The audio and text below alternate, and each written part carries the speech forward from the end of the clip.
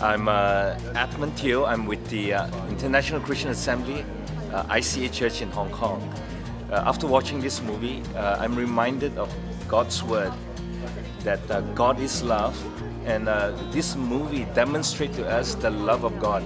I'd encourage everyone to come and experience the love of God in this story.